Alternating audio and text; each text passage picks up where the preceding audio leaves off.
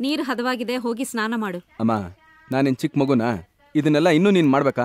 ನಿನ್ನಷ್ಟಕ್ಕೆ ನೀನು ಬಿಸಿನೀರು ಅನ್ಕೊಂಡು ತಣ್ಣೀರು ಸುರ್ಕೊಂಡ್ಬಿಟ್ರೆ ಆರೋಗ್ಯ ಏನಾಗ್ಬೇಕು? ಹೋಗಿ ಸ್ನಾನ ಮಾಡು.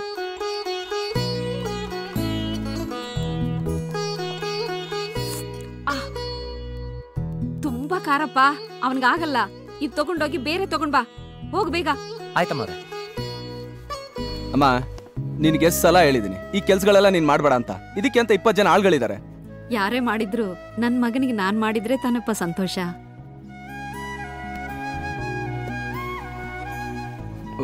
ಅಮ್ಮ. ನಿನಗೆ ಎಷ್ಟು ಹೇಳಿದ್ರು ಅಷ್ಟೇನೆ. Good morning sir good morning ಏನ್ ಬಂದಿದ್ದು? ಸರ್ ನಾವು ಲಿಟಲ್ ಫ್ಲವರ್ ಬ್ಲೈಂಡ್ ಸ್ಕೂಲಿಂದ ಬಂದಿದೀವಿ ನಮ್ ಸ್ಕೂಲ್ ಕಾಂಪೌಂಡು ಮಳೆ ಬಂದು ಬಿದ್ದೋಗಿದೆ ಸುಮಾರು ಐವತ್ ವರ್ಷ ಆಯ್ತು ಅದನ್ನ ಕಟ್ಸಿ.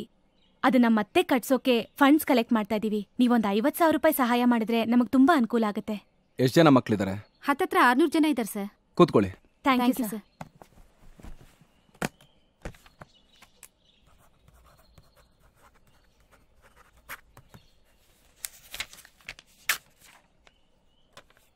ಸರ್ ಐದು ಕೋಟಿ ಬರ್ದಿದ್ದೀರಾ? ಹ್ಞೂ ಕಾಂಪೌಂಡ್ ಕಟ್ಟಿ ಐವತ್ತು ವರ್ಷ ಆಯಿತು ಅಂತಂದಮೇಲೆ ಇನ್ನು ಬಿಲ್ಡಿಂಗ್ ಕಟ್ಟಿ ಇನ್ನೆಷ್ಟು ವರ್ಷ ಆಗಿರ್ಬೋದು ಹೇಳಿ? ಕಣ್ಣು ಸುತ್ತ ಇರೋ ರೆಪ್ಪೆ ಮುಖ್ಯನೇ. ಆದರೆ ಅದಕ್ಕಿಂತ ಮುಖ್ಯ ಕಣ್ಣು. ಮೊದಲೇ ಕಣ್ಣಿಲ್ದಿದ್ದ ಮಕ್ಕಳು ಅಂತ ಹೇಳ್ತಾ ಇದ್ದೀರಾ? ಸಿಟಿ ಹೊರಗಡೆ ನನ್ನೊಂದು ಬಿಲ್ಡಿಂಗ್ ಇದೆ. ನೀವು ಹೊಸ ಬಿಲ್ಡಿಂಗ್ ಕಟ್ಸೋವರೆಗೂ ಮಕ್ಕಳನ್ನೆಲ್ಲ ಕರ್ಕೊಂಡೋಗಿ ನೀವು ಅಲ್ಲೇ ಇರಿ. ಆಲ್ ದಿ ಬೆಸ್ಟ್ ಸರ್ ನೀವು ನಿಜವಾಗ್ಲೂ ಪ್ಲೀಸ್ ನಾನು ದೇವರು ಅದು ಇದು ಅಂತ ಏನು ಹೇಳ್ಬೇಡಿ. ಅಷ್ಟೇ ಅಲ್ಲ ಕಾಂಪೌಂಡ್ ಮೇಲೆ ನನ್ನ ಹೆಸರು ಹಾಕ್ಸೋದು ಫೋಟೋ ಹಾಕೋದು ಇದು ಯಾವುದು ಮಾಡಬೇಡಿ.